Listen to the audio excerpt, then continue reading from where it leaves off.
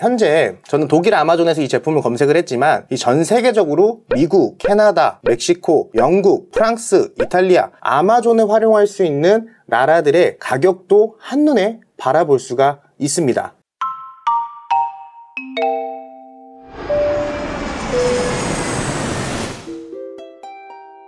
화이팅! 왜요? 지금 촬영하는데 뭐? 야 이중 촬영이에요? Guten Tag? 독일. 네, 부업으로 유럽 구매 대행 월 300만원 벌기 프로젝트 시즌 2 이제 시작합니다.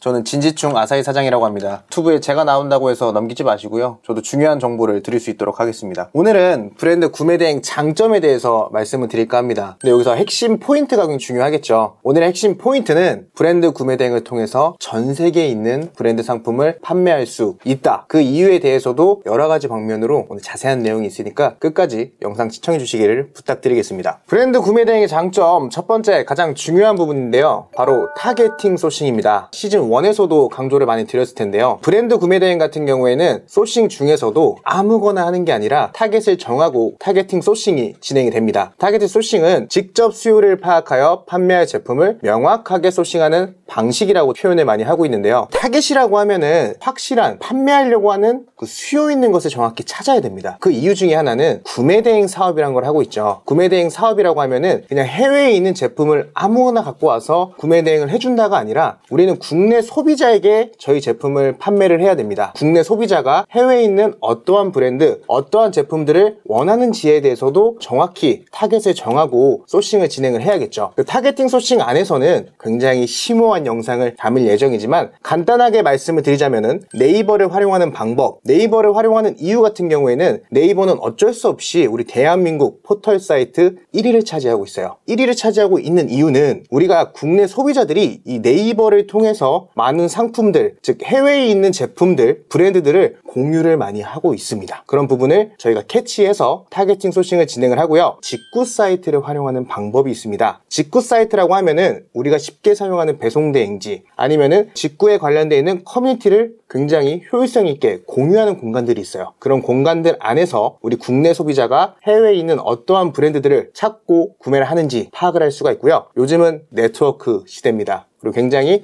자신들이 사용하고 있는 물건들 아니면은 소개하고 싶은 물건들에 대해서 굉장히 공유를 많이 하려고 해요. 미디어 활용을 굉장히 많이 하고 있습니다. 우리가 특히 알 수 있는 유튜브나 뭐 인스타그램, 페이스북 이런 것들을 활용해서 많은 제품들을 소개하고 있고 판매까지도 이루어지고 있는 상황입니다. targeting sourcing을 한 이후에는 우리는 국한되어 있는 해외 사이트만 활용하는 게 아닙니다. 말 그대로 전 세계에 있는 모든 해외 사이트에서 sourcing한 제품들을 찾게 되는데요. 우리가 가장 많이 활용하는 이제 해외 사이트는 아마존에 들수 있습니다. 아마존 같은 경우도 처음에는 독일로 시작한다라고 얘기를 많이 하는데 이 아마존 사이트 내에서도 독일만 있는 것이 아니라 굉장히 많은 각 국의 나라들의 사이트가 존재합니다. 그리고 각 나라 안에도 최저가 비교 사이트들이 많이 있어요. 우리 대한민국 같은 경우에는 다들 아시다시피 에누리나 다나와처럼 최저가를 비교해주고 그 최저가에 맞춰서 오픈마켓 아니면은 뭐 자사몰 같이 연결해주는 그런 곳이 있는 것처럼 각 국에도 이렇게 표현이 되어 있습니다. 그리고 세 번째는 우리가 더 쉽게 할 수 있는 구글 검색을 통해서 전 세계 사이트를 찾아낼 수가 있어요. 이거는 화면을 같이 보면서 얘기를 드리는 게 좋을 것 같거든요. 그럼 첫 번째로 아마존 사이트 먼저 들어가 보도록 하겠습니다. 일단 아마존에서 우리 국내에서 사람들이 원하는 브랜드 그리고 제품들을 가정에서 검색을 통해서 보여드리고 있는데요. 지금 현재 이 제품 같은 경우에는 독일 안에서는 29.99유로를 보여주고 있어요. 근데 저희가 이 아마존 안에서도 특히 독일 아마존에서 이 제품을 검색했다 그래서 독일 가격만 알 수 있는 것은 아닙니다. 아래로 쭉 내리시다 보면은 일단 우선적으로 키파라는 프로그램을 설치를 해놨어요. 이 키파는 각 나라에 있는 아마존의 동일 제품의 가격을 비교해주는 그런 확장 프로그램이라고 생각해주면 좋은데요. 현재 저는 독일 아마존에서 이 제품을 검색을 했지만 이 전 세계적으로 미국, 캐나다, 멕시코, 영국, 프랑스, 이탈리아 아마존에 활용할 수 있는 나라들의 가격도 한눈에 바라볼 수가 있습니다. 그럴 경우에는 저희가 아까 말한 대로 전 세계를 활용해서 같은 브랜드, 동일한 제품들을 비교할 수 있다고 말씀을 드렸는데 이 하나의 프로그램을 통해서도 한 사이트에 들어가서 가격을 비교하고 최초의 독일에서 이 제품을 검색했다고 하더라도 일본이 싸다면 일본에서도 이 제품을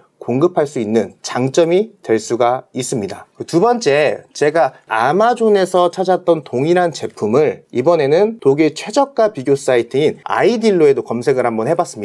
앞서 말씀드린 대로 최저가 사이트를 비교해주는 사이트라고 생각해 주시면 될 것 같아요. 그럼 idealo에 이 제품을 검색했을 때는 이 제품을 판매하고 있는 여러 third party들을 저희가 확인을 할 수가 있습니다. 뭐 최저가 같은 경우에는 제품 가격으로 28유로도 있고요. 동일 아마존이 나오지만 이 아마존 안에서도 아마존이 직접 제품을 판매하고 배송하는 게 있지만 그 안에서도 third party들이 존재합니다. 당연히 이 동일 제품도 판매자에 따라서 가격이 상이할 수 있다는 것도 장점이 될 수가 있겠죠. 그리고 세 번째로는 이제 구글 검색을 통해서 활용하는 방법에 대해서 말씀을 드릴 건데요. 기본적으로 이거는 기초자 분들을 위해서 구글에서 어떻게 나라를 변경해서 찾을 수 있는지에 대해서도 안내를 한번 드릴까 합니다. 최초 이렇게 구글에 들어온 상태에서 구글이라고 다시 한번 검색을 진행을 해주십니다. 구글 홈페이지에 들어왔습니다. 그럼 최초에 구글 홈페이지에 들어왔을 때는 지금 대한민국으로 확인되는 것을 볼 수가 있습니다. 이 제품을 독일 내 지역으로 변경을 하고 독일 내에 있는 다른 해외 사이트를 찾기 위해서는 설정 값을 변경을 해주셔야 되는데요. 설정 값 변경은 어렵지가 않습니다. 우측 하단에 보시면은 설정이라는 버튼이 있습니다. 설정을 눌러주신 후에 이제 검색 설정을 클릭을 해주십니다. 기타 설정에 들어간 후에 언어 및 지역, 검색 결과 지역을 변경을 해주시면 되는데요. 현재 보이시는 것 같이 대한민국으로 설정이 되어 있습니다. 이 부분을 저희가 독일에서 사이트를 찾는다. 그럼 독일로 변경을 하신 후에 확인 버튼을 눌러주시면 됩니다. 구글 검색으로 들어가면은 검색할 수 있는 지역이 독일로 변경된 것을 확인할 수가 있습니다. 그 다음에 앞서 계속 찾고 있었던 제품을 다시 한번 검색을 하게 되면요. 보이시는 것 같이 구글 안에서도 독일 내에 있는 여러 가지 사이트들을 확인하실 수가 있습니다. B 브랜드 같은 경우에는 조금 제품을 찾는데 해외 사이트가 좀 한정적이죠. 근데 저희 브랜드 구매 대행 같은 경우에는 제가 얼만큼 찾으려고 노력을 하고 세부적으로 들어가냐에 따라서 찾을 수 있는 해외 사이트가 굉장히 다양하다는 장점을 또 찾을 수가 있습니다. 그리고 제가 이렇게 사이트를 찾게 되면서 어떠한 사이트에 들어갔을 때의 가격과 또 다른 사이트에 들어갔을 때의 가격들을 비교해서 제가 조금 더 경쟁력 있는 최저가 제품을 찾는데도 적합하다고 생각이 들 수가 있습니다. 네 번째로는 저희가 targeting sourcing을 통한 판매 제품의 확장성을 가져갈 수가 있습니다. 우선 저희가 화면에 보이는 것 같이 공구, 보쉬라는 브랜드의 제품을 처음에 sourcing을 진행을 하고 나면은 저 보쉬라는 브랜드가 어떠한 카테고리인지 확인이 가능합니다. 보쉬 제품 같은 경우에는 큰 카테고리로 따지면은 생활 건강 안에 공구라는 세부 카테고리, 공구 안에 또 전동 공구, 전동 공구 안에는 전동 드릴, 뭐 충전 드릴, 뭐 비트 세트 등 여러 가지 카테고리가 하나의 제품으로 인해서 뿌리처럼 나아가는 것을 확인할 수가 있습니다. 그리고 이 브랜드가 보쉬라는 것을 알고 난 후에는요. 보쉬라는 브랜드 안에는 지금 보이시는 전동 공구 아니면은 뭐 드릴이라는 카테고리만 있는 게 아니라 굉장히 또 여러 가지의 카테고리들이 있는 것을 알 수가 있습니다. 이런 것들은 저희가 프로그램을 활용해서 제가 모르는 제품을 갖고 오는 게 아니라 직접 국내 소비자가 원하는 제품을 targeting sourcing을 했기 때문에 가능한 부분이 있습니다. 그렇기 때문에 targeting sourcing을 통해서 제품을 많이 볼수록 확장성 있게 판매할 수 있는 제품을 많이 가져갈 수 있다는 장점을 둘 수가 있습니다.